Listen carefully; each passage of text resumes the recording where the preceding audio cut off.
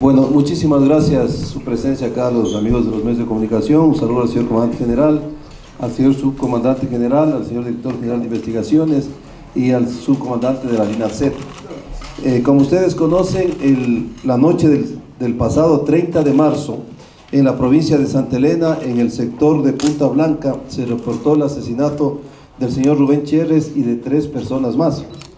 De acuerdo a las investigaciones de nuestras unidades de Investigación e Inteligencia, se determinó que los presuntos autores materiales son dos ciudadanos ecuatorianos, José Z, que tiene antecedentes penales por robo, tenencia y porte de armas, y Alex M, que tiene antecedentes por tenencia de armas, extorsión y tráfico de tierras. Sin embargo, tenemos todas las evidencias investigativas y técnicas para que quien determina la responsabilidad, obviamente la Administración de Justicia, así lo pueda hacer en este caso.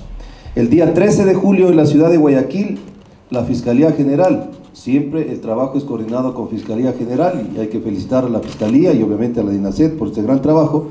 La Fiscalía General del Estado y la Policía Nacional procedió a dar cumplimiento a órdenes de detención con fines investigativos mediante un allanamiento. Quiero decirles también que tenemos activadas una línea investigativa muy fuerte, muy potente para continuar con este procedimiento y dar con todos los autores, tanto materiales como intelectuales.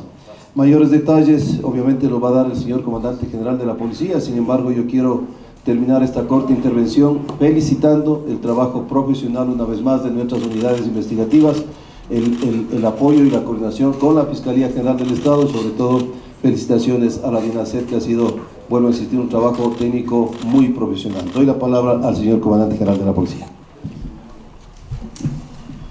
Eh, señor ministro, buenos días. Al señor subcomandante general, general Manuel Íñiguez, al señor general Alain Luna, director de investigaciones, al señor eh, coronel Muñoz, subdirector de la DINACED, igualmente el señor general Zarzosa, comandante de la DINACED, se encuentra eh, al momento en el Teatro de las Operaciones en el sector de Santa Elena y Guayas. También él estuvo al frente de estas acciones que se ejecutaron.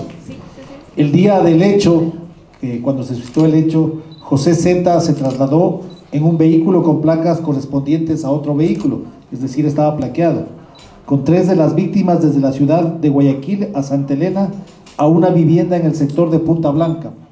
En el lugar ya se encontraba Alex M. Aquí los sujetos, estos posibles autores, habrían maniatado y disparado al guardia de seguridad y luego accedieron a la vivienda para asesinar a las otras tres víctimas. Personal de la Dirección de la Policía Nacional de sus unidades especializadas, mediante labores investigativas, determinaron que antes, durante y después del evento los dos procesados tenían participación por las relaciones técnicas establecidas por nuestros eh, medios profesionales y acciones de investigación especializadas. Entre los indicios que se encuentran están terminales móviles, equipos electrónicos y documentos que permitirán continuar con la investigación para determinar principalmente la motivación y otros posibles autores intelectuales y materiales relacionados a este hecho criminal. Los detenidos fueron trasladados hasta la provincia de Santa Elena, Cantón La Libertad, para ser puestos a órdenes de la autoridad competente con el fin de fijar fecha y hora de la audiencia para formulación de cargos.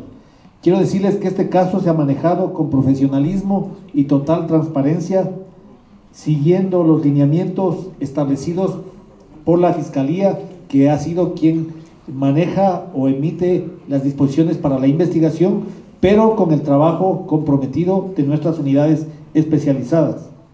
Asimismo, desde el principio se asignó unidades de especializadas de la Policía Nacional para resolver este caso y lo que todos queríamos, lo que quiere la Policía Nacional, lo que quiere el Ministerio del Interior y todas las autoridades es que se establezca la verdad procesal y en este momento podemos decirles que esa verdad ya está por buen camino.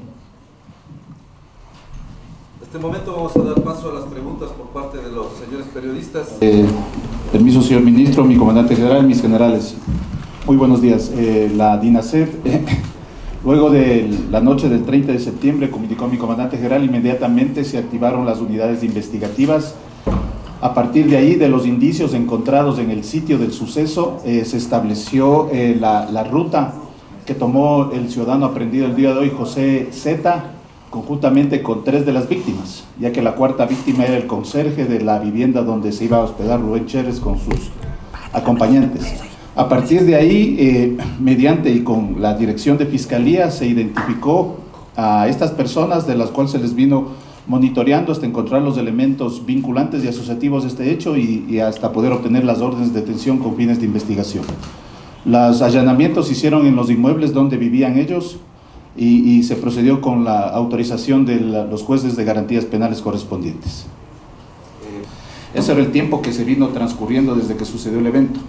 Y lógicamente el día de hoy Fiscalía seguramente más que eh, completamente seguro va a ponerlos en el servicio de protección de víctimas y testigos a estas dos personas. ¿Pero qué evidencia recopilaron?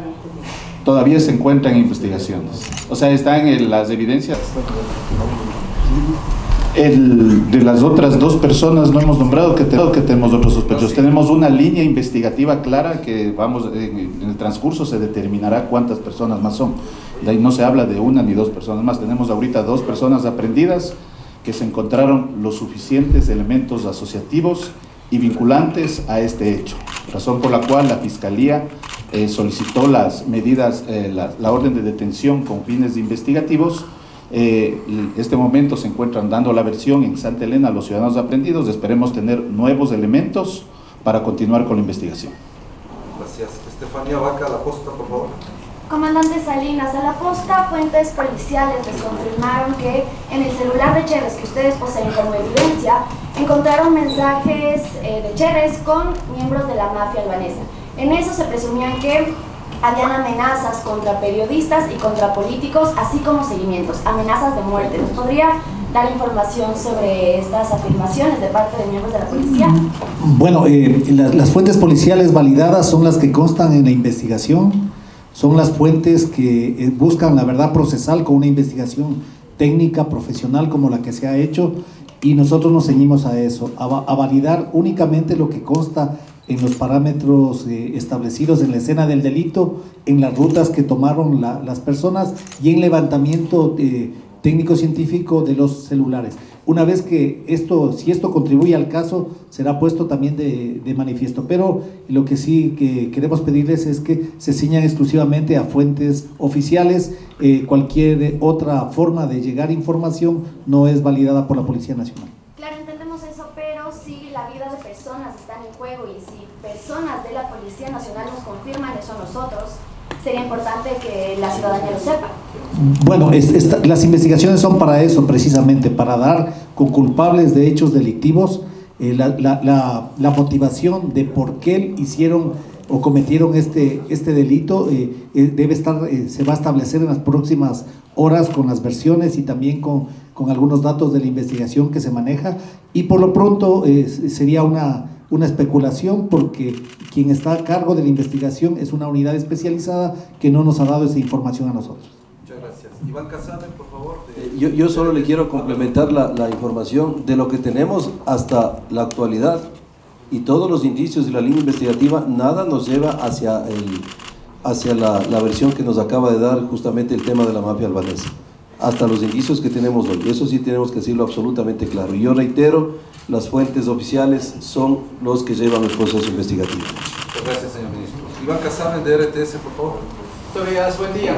Por lo pronto se descarta que el móvil haya sido el robo de acuerdo a las primeras investigaciones y se puede determinar, ustedes hablan de uno de ellos, ¿tenía alguna relación, conocía algún tipo de amistad con las víctimas? Eh, bueno, eh, podríamos por, por los datos de la investigación eh, descartar que se trate de algo que no haya sido planificado o que eh, obedezca a una relación previa con la víctima. Eso se va a demostrar en la investigación para establecer la real motivación, pero lo, que sí queremos y podemos manifestarlo es que había una relación entre directa entre las víctimas y los victimarios, una relación que no fue espontánea, sino que ya tenía algunas, algunos días o semanas o meses ya de, contacto. Eh, en el caso del robo, entonces está descartado, aparentemente. Es algo planificado que no obedece solamente a un robo.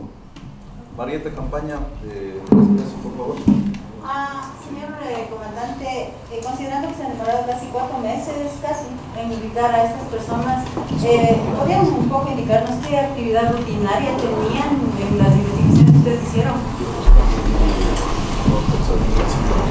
Eh, luego del conocimiento del hecho y con la autorización de, las respectivas autoridades judiciales, se les realizó algunas vigilancias y seguimientos a los dos presuntos sospechosos en- al inicio del- de la investigación, donde ellos eh, desarrollaban sus actividades normales, eh, sus actividades normales, eh, cada uno por separado, eh, dentro de las actividades que ellos viven en el día a día. No, eh, nosotros estábamos tratando de recopilar información y, y tratar de obtener más elementos vinculantes para este hecho. Creo que eran comerciantes, eh, no trabajaban. Son trabajadores de una empresa. Muchas gracias. Muchas gracias. Muchas gracias a los medios. Les vamos a pasar el material a,